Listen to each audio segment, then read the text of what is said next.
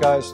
We're going to play, I wouldn't say my least favorite tune, because I've already kind of covered that in a few of the other videos. It's definitely not one that is, that's at the top of my list. It's a tune called the Kesh Jig. It's a bog standard session tune, and it's one that everybody ought to know. Uh, you just do. You just need to know it uh, if you're going to play Irish traditional music. The only reason I don't like it is not because there's anything wrong with the tune. It's a lovely tune. It's fine. But it tends to get beat up. It's one of those. But you do have to know it, and I haven't done a video on it. I've kind of been procrastinating it, but here we are. So we're going to take a crack at it. I'm going to play just the basic melody, and then we'll go back and, and uh, break down some of the ornaments and all that good stuff.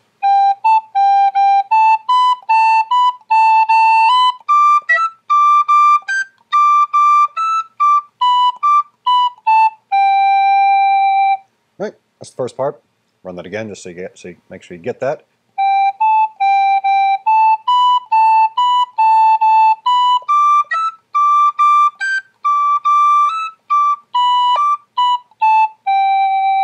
Second little section there in the A part is fairly similar, at least the beginning of it is.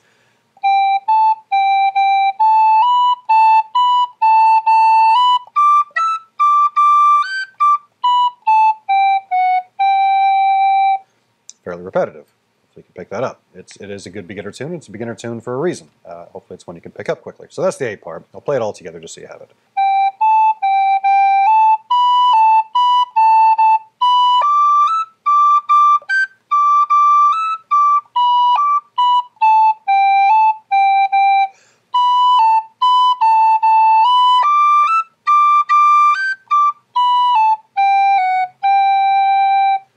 Right, so that's the whole A part.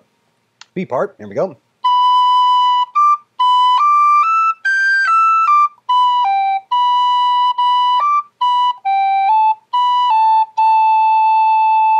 It's the first half of it. Second half here.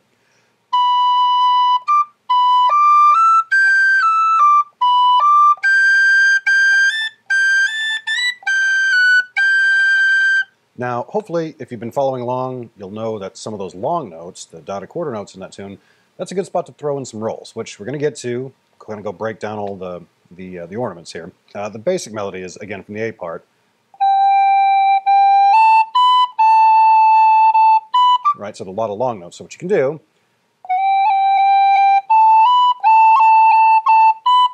just a couple of rolls. So right off the bat, you got a couple of options there. All these little um, bounces that kind of go between E's and D's and G's and stuff in the higher octave. I usually just do cuts. Right, so a couple of those you can you can drop in there, and that's pretty much it for the A part because it's fairly repetitive.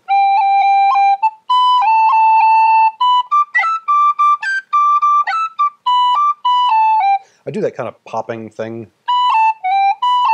which I've demonstrated a bunch. It's just kind of popping that top finger off. So, and then you go right back into the roll to, to turn around the A part. B part, uh, it does jump up to that high octave, that high B, so you got to kind of watch that, make sure you're not squawking those notes. But it starts on the, the lower B, and it starts with the roll and, my, and what I, how I would play it anyway.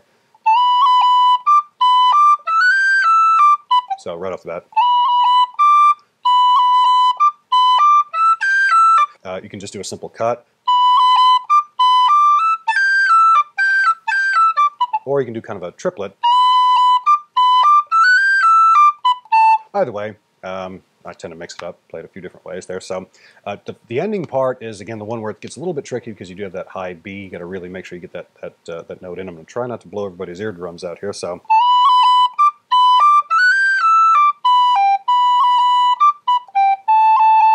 And there again, we're just dealing with some roll.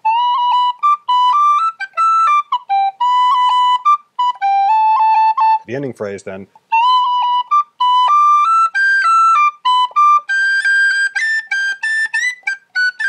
So roll on the G. You can do slides. Or you can do cuts. I like to try and mix it up so it's not always the same thing. Um, and again, because you're in that high octave, um, it's a little bit risky. See, I just did it. Um, you can squawk those notes fairly easily, so you got to make sure you get good, good breath control and you're able to hit those high notes fairly cleanly. Learn the tune. If you don't play it a whole lot, that's okay. Uh, if it comes up at the beginner sessions, by all means jump in, blast away. It's just one of those that you got to know. And um, hey, if you find a good use for it, if you find some cool way to play it, let me know. I'd love to hear it. Uh, but definitely check out that link to the Bothy Band. That's kind of the classic seminal recording of this thing, um, and it's it's one of those times where you can hear a tune that gets beat up and hear how it's supposed to be played, and you go, oh, okay, maybe I can learn something from that. Give that a listen. Matt Molloy is playing flute on it. It's gorgeous. It's amazing. Um, let me know what you think. See you guys in the next one. Cheers.